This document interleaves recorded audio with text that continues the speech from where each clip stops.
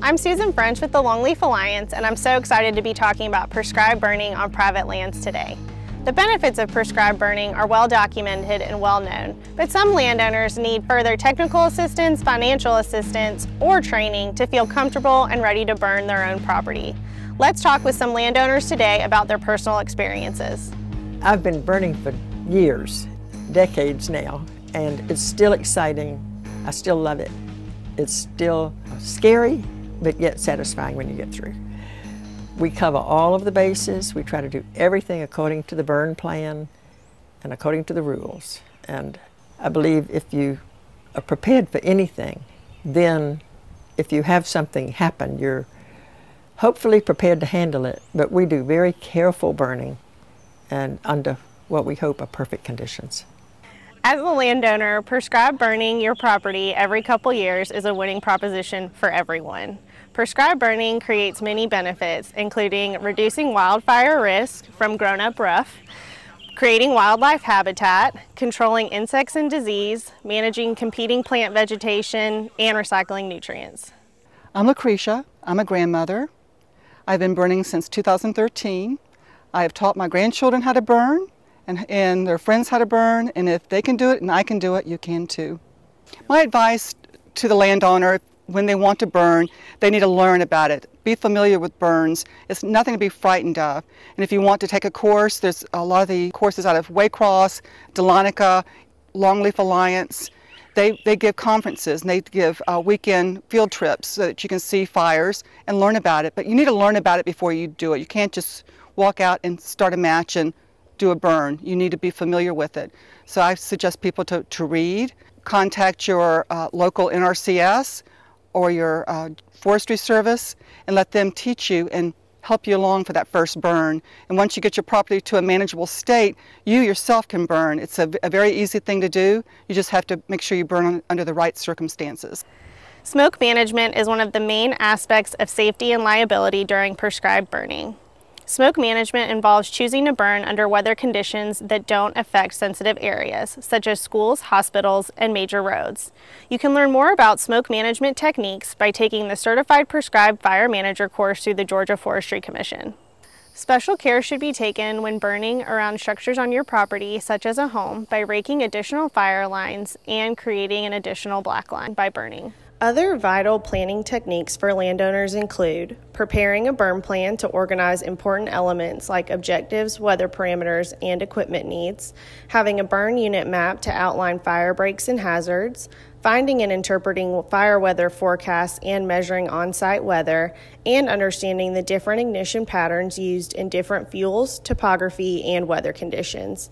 Important resources can be found in the comment section below, including information from the Longleaf Alliance and our friends at the Southern Fire Exchange. When you start your burns, you call the forestry department and they will tell you whether or not it's adequate to do a burn.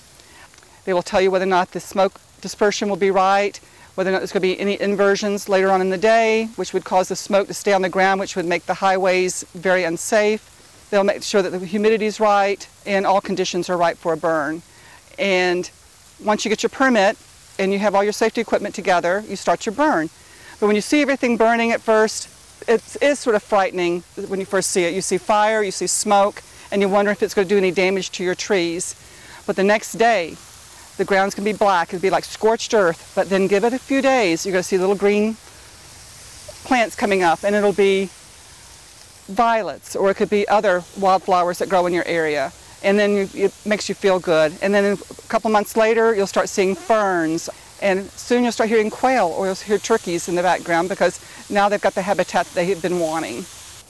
Burning during different seasons of the year means you'll see different plant responses. Burning during the growing season can really help promote the growth of wiregrass, which is a valuable native species.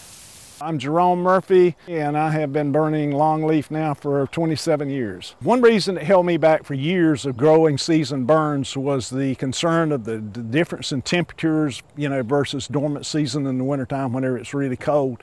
And uh, I was really nervous and I've known about this probably for 10, 15 years, so to speak. And, and it, uh, it took me a while. I was kind of like jumping off the high dive is the way I say it is I was just scared but once I've ever done the first one I feel very comfortable about it. I had the Georgia Forestry Commission to come out and help do the burn and everything went great far beyond my expectation. Very much a transition and I see a great amount of change in my property now.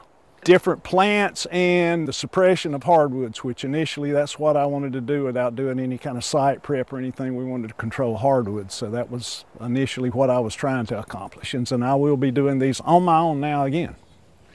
Making a budget is vital for the planning process. We will help you understand the cost of burning, insurance, and possible sources of funding assistance. There is also a rentable burn trailer with all the tools you need to get started. I'm James. I'm just getting into the uh, into the pine tree uh, business. Going to be planting some long leaves this winter. A very affordable resource that the Georgia Forestry Commission gives local landowners is a fire trailer here for an um, inexpensive cost. Uh, inside the trailer, you have hand tools up front. You have access to a blower that makes a fire break for you, and also water bags that you carry with you to help put out fires. Financial assistance is available to private landowners through programs like the Georgia Sentinel Landscape Pilot Project.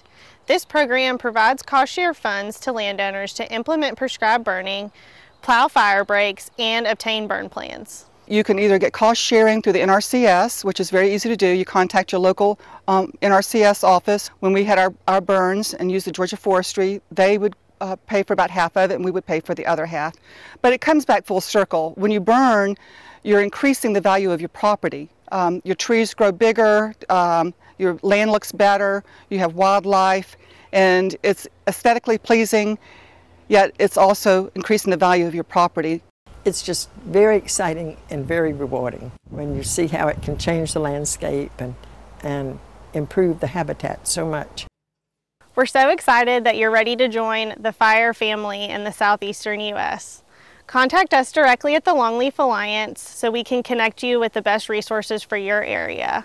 Also make sure to follow our social media pages on Facebook and Instagram for the latest updates on trainings and events.